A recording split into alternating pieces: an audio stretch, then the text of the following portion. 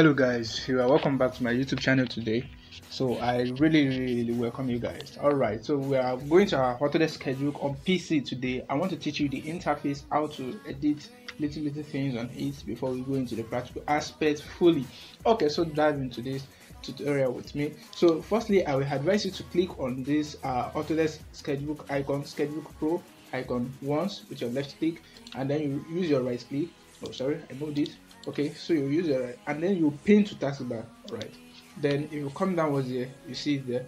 All right. So now with that you will be able to easily access your sketchbook without trying to install it over and over again. And i will advise you guys to get an external mouse. Is that okay? Get an external mouse for this. Uh, but for requirements well uh, your just 4 gig ram is good. 4 gig ram is good. Okay now here is the interface of the sketchbook okay? Um, we have our two panels there. We have file edit image window and help here. And then we have the name upwards here. That's sketchbook pro. We have all these tools here all right? And then we have color editor or color wheel and then our layers all right? Uh, but the fact is this in your home the colors and the layers may be hidden all right? Even the tools all of them may be hidden. So even if that one happens don't worry yourself there's no cause for alarm.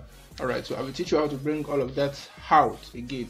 All right so we can also hide this one we can also take this one out. Okay so we can take everything here we can take it out. Yes so even this place you can just take everything out. So anyway anyhow you find your own don't panic there's no need for uh, panic. All right so you just come to your windows here all right so this is toolbar you see the tool is back the toolbar is back all right. And then the color uh, puck that is for the black. And then the brush puck. All right. Then we have the palette that is for the brushes. Okay. And then brush library to open the brush library. And then layer editor. Then we can come to our color editor. But if you are confused you can decide to choose a default layout. But i can just decide now this is the default layout. This is what you're going to see when you install it. But i can just decide to customize my whole is that okay? I can decide to customize it because i can move this around. I can move it to anywhere i want. I can move it to anywhere i want it to be. Is that okay? And it will be there. Hope you understand me now. Great. So just let's click on this uh, default and then i can edit it to anywhere i want it. Now if you want to clear any of these editors you just have to bring your mouse close to this place. You can see it? Then you click on it. Then it will be gone you see that it will highlight red there then once you click on it it will be gone. Okay so let's dive into this uh, tutorial now. To bring out your layer you click on this layer panel here. Once you click on it the layers will come out and then you can drag it to expand. Can you see that now it has full displays? Or you can make it small. Can you see that? So if you want to drag it that it will fill this place you just drag it like this. You see it will highlight something for you on top like this and once you release it the uh, layer will flip there and then for your color wheel also you just click on it and then you can move it you know anywhere you want. You can decide to move it to the right or to the left. Just take it anywhere you want and then it will as well work for you. All right so even if you bring this one up now because one is already there it will not be able to to flip there. So you can just decide to to take it around. All right. Okay so now let's dive into this tutorial. Now i said we have our color i mean our brushes set in there uh, tools we have pencil. If you check sketchbook on mobile all of these things will be there. Now possibly your home tool may not be smooth as this. You can see the edges. You can see the edges. It's very very smooth. So i'm going to teach you guys how to do all of that. Now here it is. Ended only draw with pen. Do you see? Or you can decide to choose on this steady stroke. Can you see? Can you see the stroke you see the edges? Yeah. And you can decide to come to this predictive stroke. If you are using mobile then you'll be familiar with this predictive stroke. It will automatically correct your sketch to be straight or to be smooth. You can see this. You can see. You can see it's correcting it. Can you see it? Yeah. So that is the work of predictive stroke. Now let us come to our layer. In case uh, you want to undo what you have done. Just click on ctrl z. All right that is to uh, uh, to undo what you have done. Is that okay? Yeah. So now if you want to redo it you can just come to this shortcut here. All right and then you continue clicking with your left click.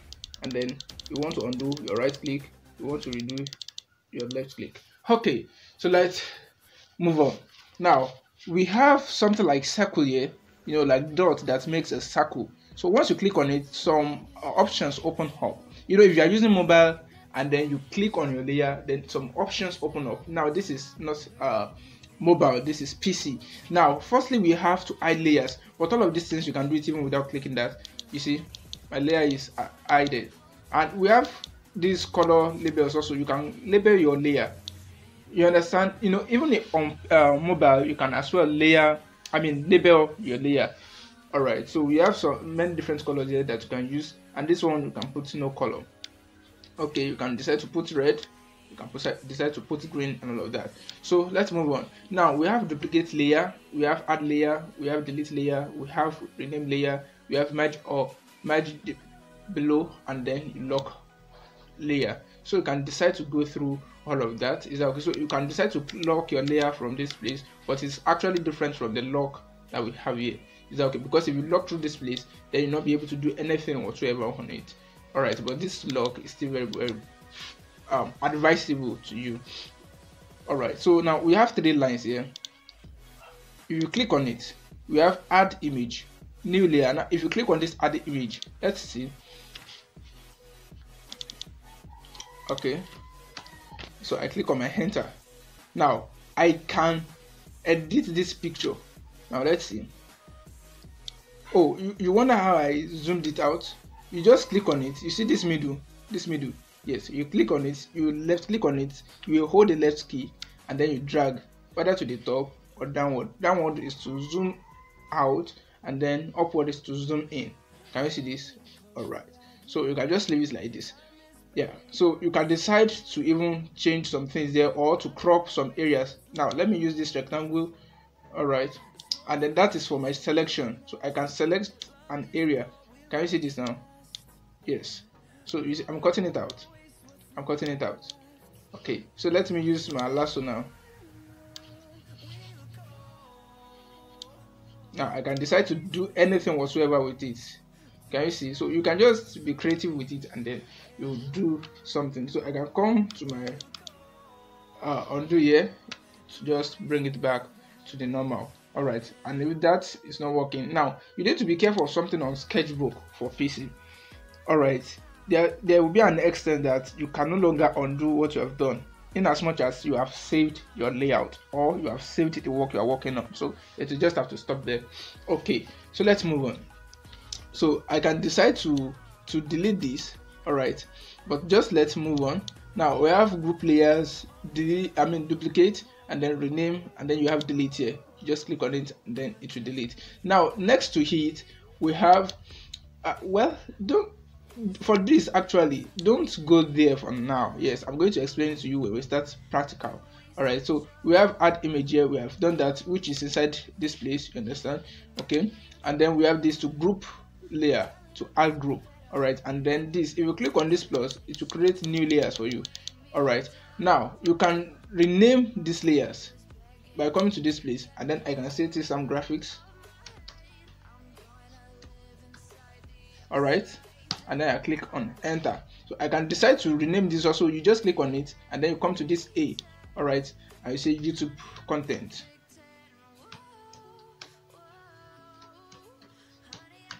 Okay, enter. So you can decide to rename it. Now this is where it's very very different from mobile. Mobile cannot do that actually.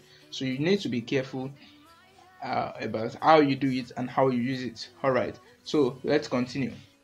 Okay. So now uh, let's do away with our selection now we have zoom you can use it to zoom all right by clicking it like this and then it will zoom can you see you drag to the top or to the left if you drag to the left it will still reduce it or to the right side. I mean to the left side it will increase to the to the left side is going to increase and then to the left side it's going to decrease. All right. So i think you get that. So but not to get yourself confused just click on this and then it will zoom. If you want to go to one side or the other you can just move it around like this. Okay. So here we have our select which i just finished using for you guys now. All right. So we have crop. We can crop uh, your workspace. Let me see this? So where you are seeing this brown nothing can work on it actually. Is that okay? Nothing will work on it. You see what i just cropped yeah so you click on this check mark and then it will be activated. So you can crop your workspace. For example now if i click on control n that is new. So i don't want to save this. I'll just click on enter. All right. Now let me click on control o. You see it will automatically flip to the size of uh, my workspace. Yeah can you see this? So i can decide now be careful of the of that small torso on your mouse because if you use it then it will just you know no, it will not zoom to your home perfection to what you want. Is that okay? So you just have to go with the zoom of the sketchbook itself itself. You want to get a perfect result. All right so now i can decide to to work on this by cropping it out you know it's too long so i just decide to crop it out now. So i'll just click on this crop all right or you click on c on your keyboard. Is that okay? So if you click on c then that is crop automatically. Then you click on your check mark or you click on the enter on your keyboard then you see that it will change and it will crop. And if i'm not cool with that like i said you can click on c on your keyboard and then you can crop just take it from top and then i want to stop it here. I'll just click on my enter on my keyboard i click on the check mark on the top. All right and then it's done. So i can decide to click on my c again and then i say okay i want to take out only the head. All right and i will come here i'll click on enter. Then it is so. So i said this is to create a new layer. All right so i've created a new layer. Now let's come to the tools okay i think i've explained that. Okay so uh yeah if you click on this place it will give you the properties of the tool all right so you can decide to decrease the size here or increase it by clicking on it. Or you rather enter the number you want it to be 56 all right but you can see that the size of this brush cannot reach there. So i just let me check 10 okay you click on enter. And then opacity we have opacity here. You can decide to work on that. And then once you're done you just click here and then it's gone. Can you see? Now we have shortcuts for all of that. Now here is for the brush and then the color settings now if you drag to the left all right it will decrease the size of your pencil. You know we put it on 10 before so let's see where it is now. If you look at the bottom of your screen you see that the size is decreasing. So let us draw it here again with the same tool. Can you see that?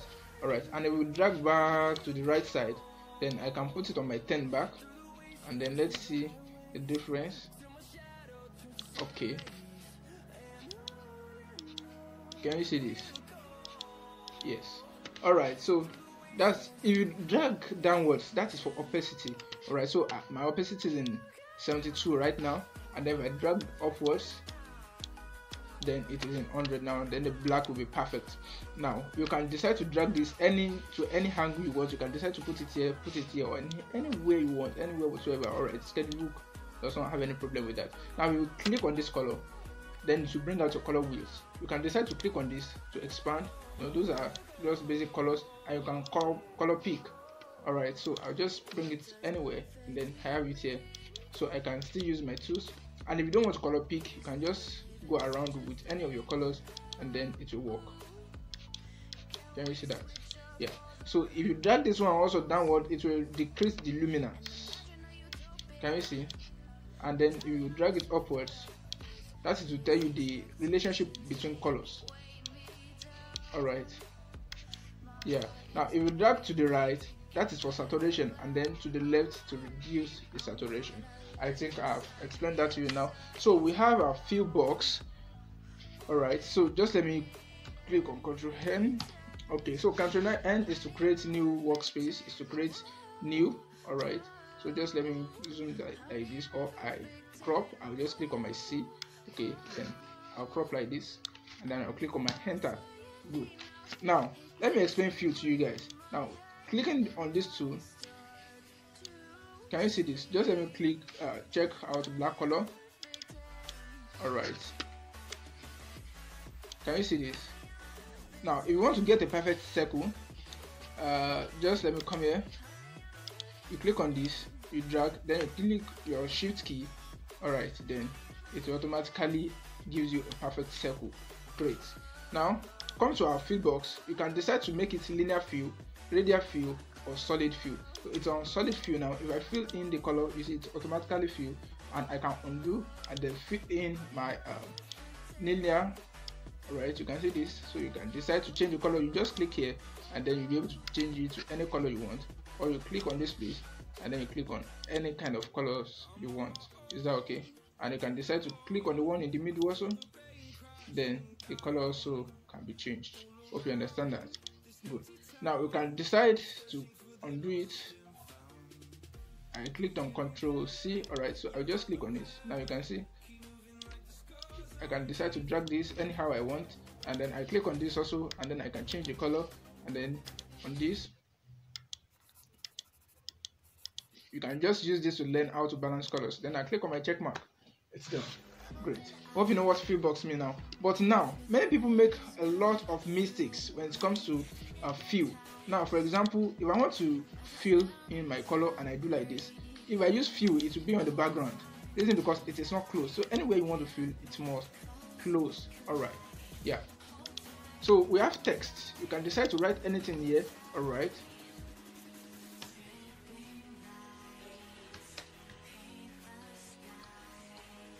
all right. So you can decide to increase the size here. You can put it as 144 then you can make it bold. You can make it italic. You can underline it and any other thing you want to do you can put it on um, any kind of uh, font you want and then you click on your OK and then you can edit it anyhow you want. You see this?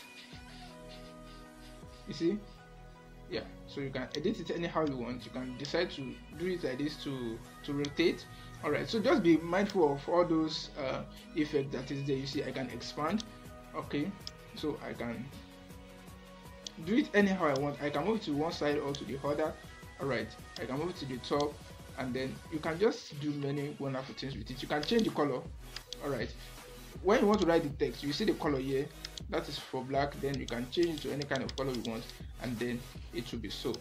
Okay so if i write any other text here now like just like this one you see it's highlighting it in blue. So you just have to choose the kind of color you want even before you work on it. Is that okay? So just let me drag this downwards. Then you choose any kind of size you want even before you finish working on it. Okay. So i will explain to you guys how to go about all these tools how to make the settings and also in this place just let me go with this. All right. Here we have tools and you know about that? Okay so tools and views so those are just the uh, few things that are also here all right so we have a ruler. You can easily see your ruler here. Then ellipse you can use all of that to draw shapes. Okay. And then here we have tools also. So those are the things here in case you don't want to you know on mobile you see a dot here.